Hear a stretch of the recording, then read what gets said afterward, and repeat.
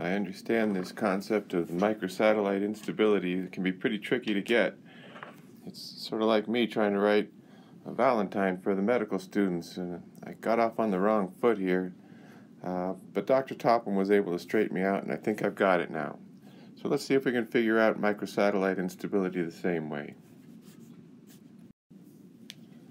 The first thing we have to do to understand microsatellite instability is to figure out what a microsatellite is in the first place. The important bit is that we've got lots of repeats of the same thing over and over again, and of course they're anti-parallel complements repeated over and over again. We always draw them uh, as uh, repeats of three nucleotides, but that's not important. That they can be repeats of other sequences. We could just have A's and T's repeated over and over again. We could have two nucleotides, three or four.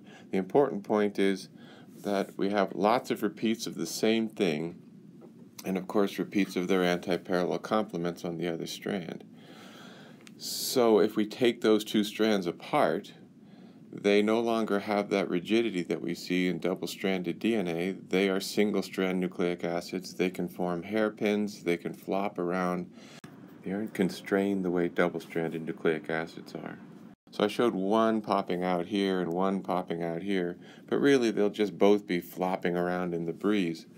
Now if we try to put those two molecules back together, here's where the repeat part comes in to be important. Because any given repeat can find any other anti-parallel complement and anneal to it.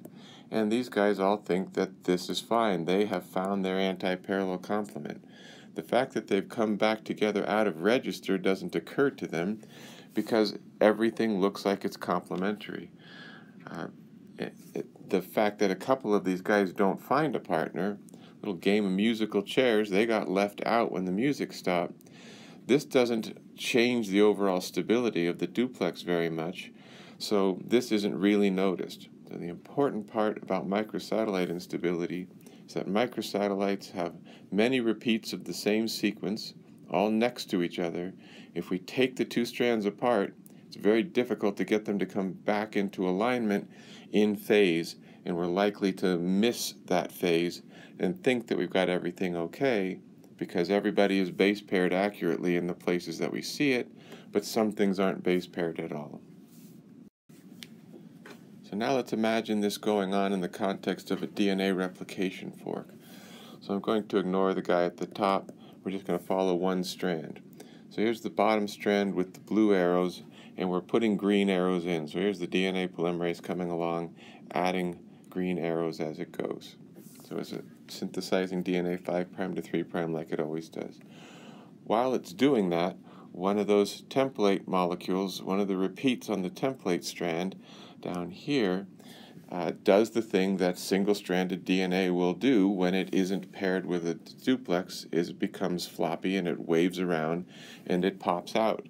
So as the DNA polymerase comes along, it's not going to notice that. And that seems surprising, but there really is a lot of flexibility in the template molecule and we can get those bases to sit just exactly the right position, even though we've got this guy popped out. So the DNA polymerase comes along, puts a green arrow, puts a green arrow, puts a green arrow, and it just keeps synthesizing. What it doesn't notice is that when it gets to the end and starts back into unique sequences over here, it doesn't notice that it's made one fewer green arrow uh, than it would normally because this guy was popped out and he didn't even notice him. At this point, the mismatch repair machinery is supposed to come along and say, wait a second, that's not right we've got a whole piece of this uh, uh, region of the chromosome that we were copying that didn't get copied. If the mismatch repair can, uh, machinery can catch that in time, it can tell the polymerase or some other exonuclease to chew out all the new stuff it just made and try again. But if the mismatch re repair machinery isn't there, then of course this is not going to happen. We're going to have two strands that have different numbers of copies of that repeat, and if we take them apart to copy them in the next cell cycle, we're going to have this guy on the top that has 15 repeats of the green. Oh, that's a terrible 5. 15 repeats uh, and 16 repeats uh, down here on the bottom. So we have different numbers of repeats in the two strands. The mismatch repair machinery didn't come along and figure this out, and now we go to copy this again, and we uh, make uh, two new duplex molecules, one of them having 15 repeats and one having 16 repeats. So here we've lost a repeat in this molecule uh, because we, uh, we didn't notice that one of the template strands was popped out.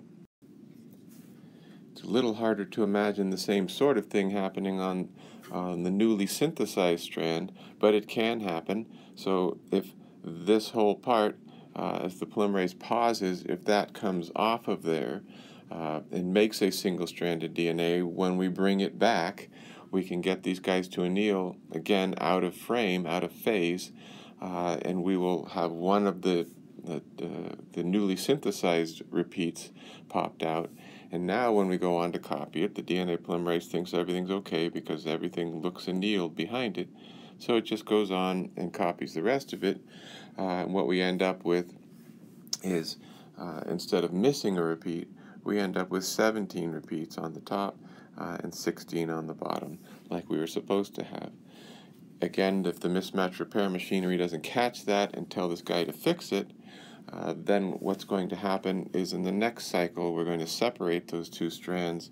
We're not going to be able to tell that there's a problem anymore once they're separated, and we're going to end up making one molecule with 17 and one with 16. So here we've added a repeat. Uh, so we end up with an extra copy of the repeat. So this is why these guys are so difficult to copy, is because we can't tell when we've got them in register and out of register. Uh, and the polymerase has a hard time telling whether or not it's made the right number of copies. So we can either lose or gain copies when we replicate these guys. Without mismatch repair machinery, that's a much more common problem.